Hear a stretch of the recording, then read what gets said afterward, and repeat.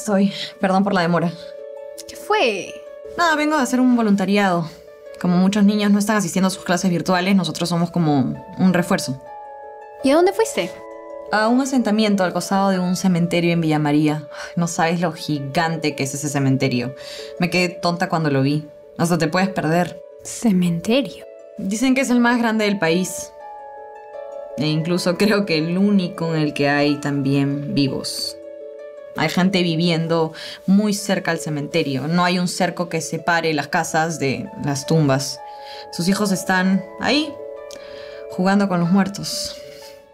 ¿Cómo alguien puede permitir eso? No sé, seguro a nadie le importa. Si no, no pasaría. Ese lugar está como... olvidado. ¿Te pasa algo? Bueno, sí. No. Es, que pasó algo después de, las clases. Empezamos a repartir los víveres que habíamos llevado y, y de pronto una niña se me acercó y, y me avisó que más arriba en una casita había una viejita que no iba a poder bajar, pero que sí necesitaba algunos víveres. Entonces yo me ofrecí a llevárselos. Subí un cerro lleno de piedras y con la canasta que pesaba horrible. Pero cuando por fin llegué, vi la puerta de la casa medio entreabierta. Igual toqué, pero pero nadie contestó. Entonces me animé a entrar. Adentro volví a llamar a la viejita y, y me contestó. Me dijo que pase con una voz casi, casi inaudible. Crucé la cocina y, y me topé con una habitación con una sola cama grande.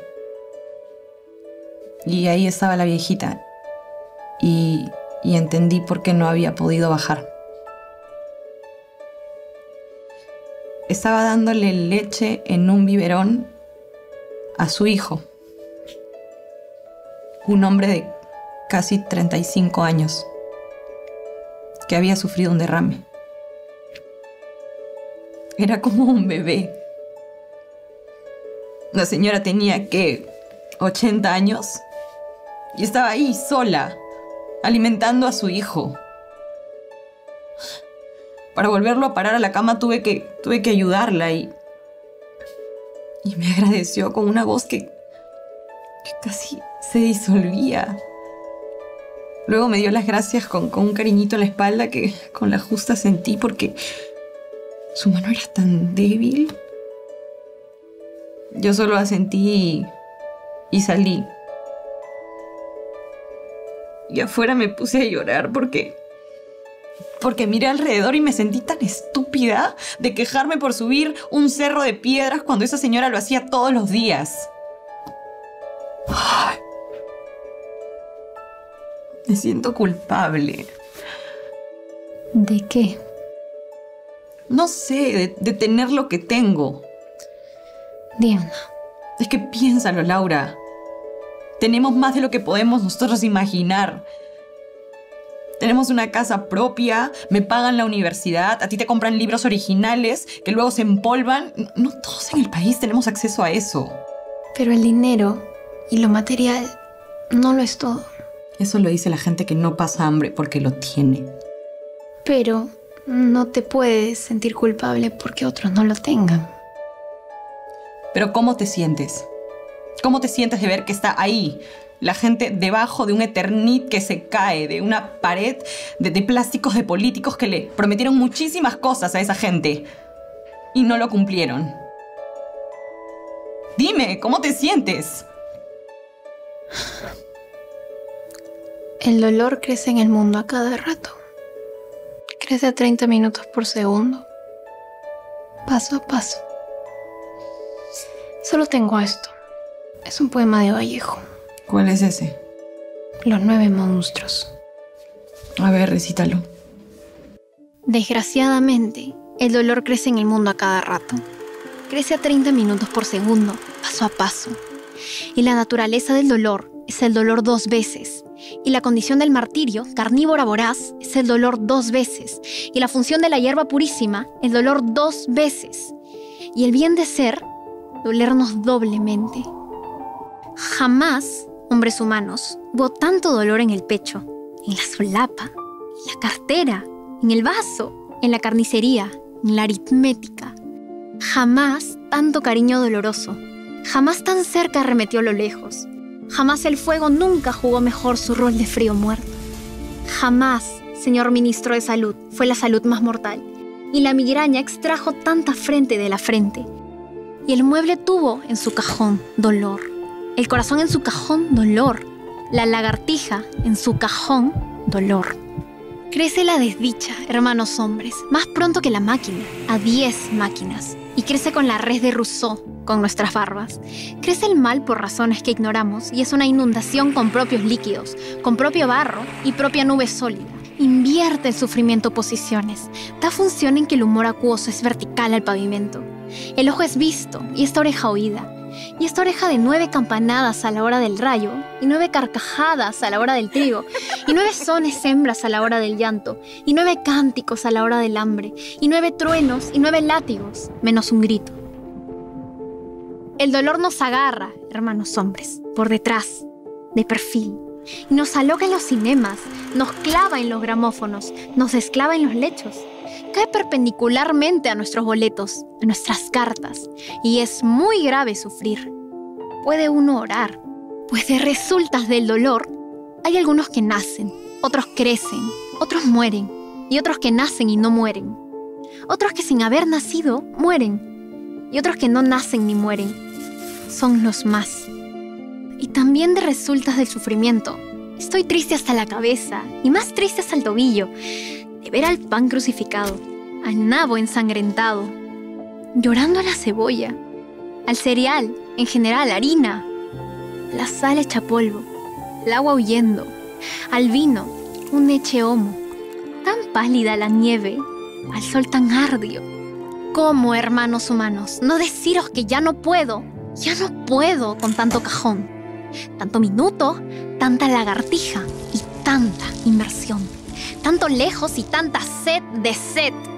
Señor ministro de Salud, ¿qué hacer?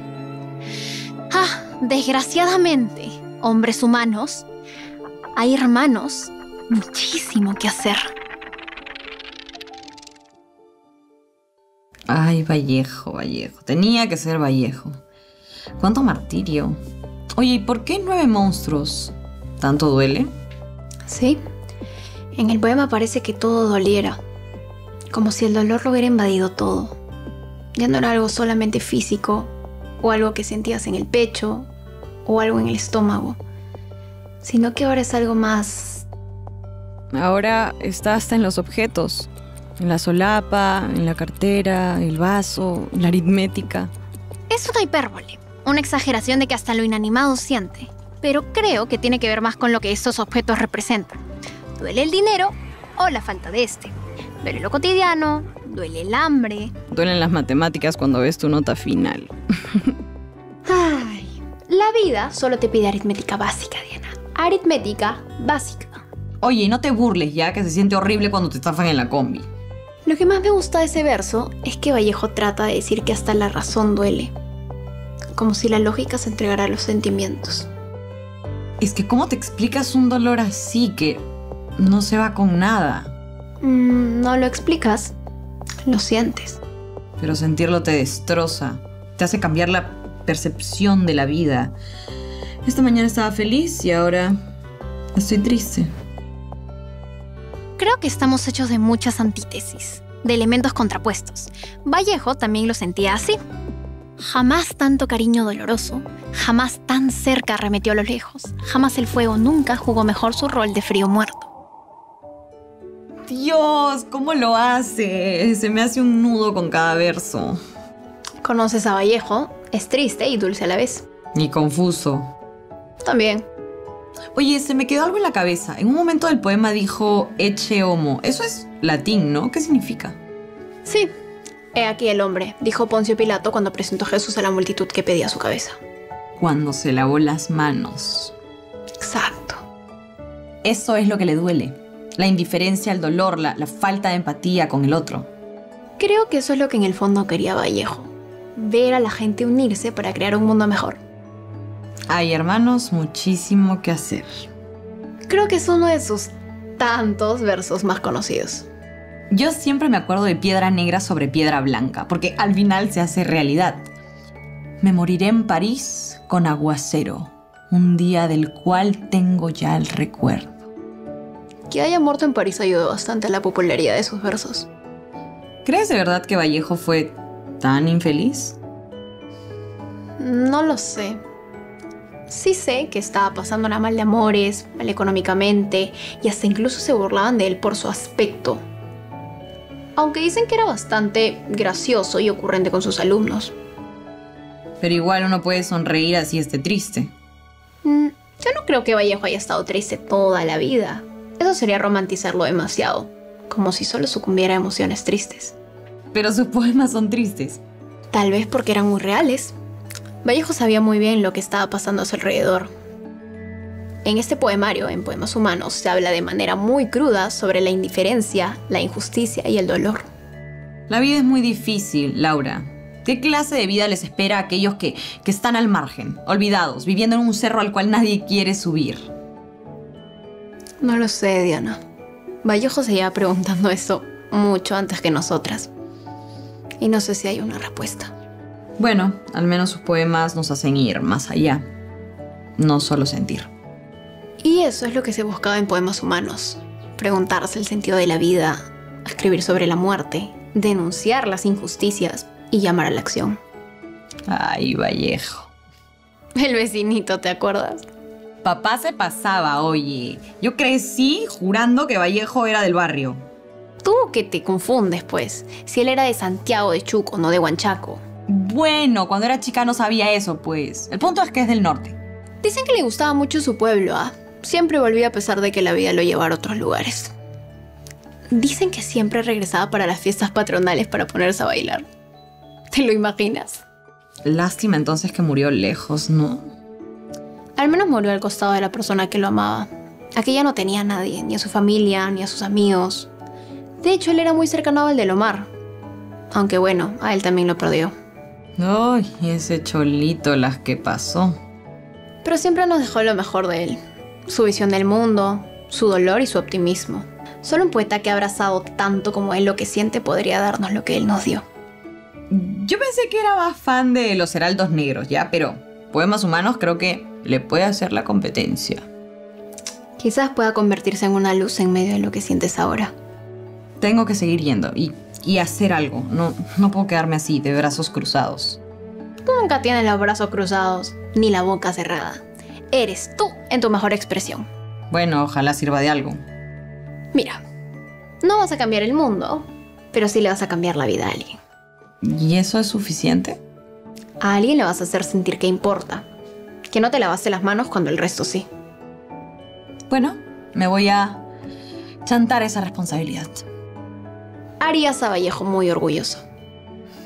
Es que de mi barrio imaginario, pues. es del Perú.